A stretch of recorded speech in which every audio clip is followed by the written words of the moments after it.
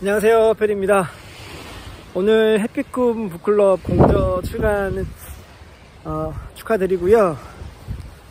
17분인 걸로 알고 있는데 글 쓰시느라고 고생 많으셨고 또 전체적으로 코디 해주시고 전체적으로 기획해주시는 우리 박수학 교수님께 감사하다는 말씀드립니다.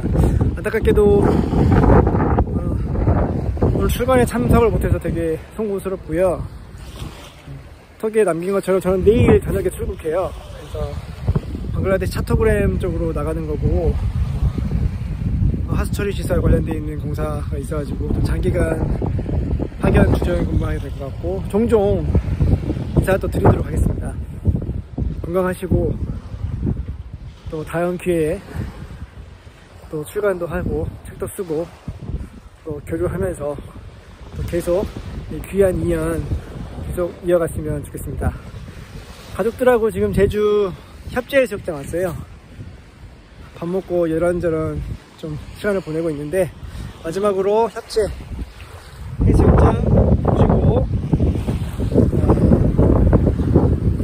어, 마무리하도록 하겠습니다. 축하드립니다.